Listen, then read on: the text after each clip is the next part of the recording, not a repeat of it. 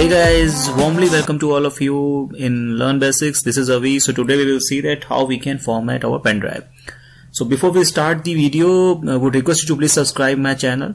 Just right corner, uh, uh, red button of your right corner here, over here. Okay, for latest technological update. So first, uh, insert our pen drive here. Okay.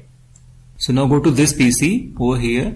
Click on that. It may be different name in your system like my computer. So when you will uh, click on that, this will open. Go to here, removable disk. Okay. As you can see, uh, there are two, three files uh, are saved. Okay. Just go back. Now click right. So when you will click right, it will give you these kind, uh, all these options. Okay.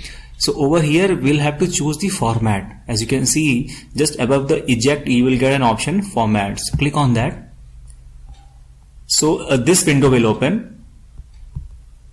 Format removable disk okay? So if you wanted to format your pen drive just click start button okay? So when you will click start button this will give you the warning because uh, the format section will erase your all data in the pen drive okay? So make sure that your all important file document picture or anything which is very important save somewhere else before using this option okay?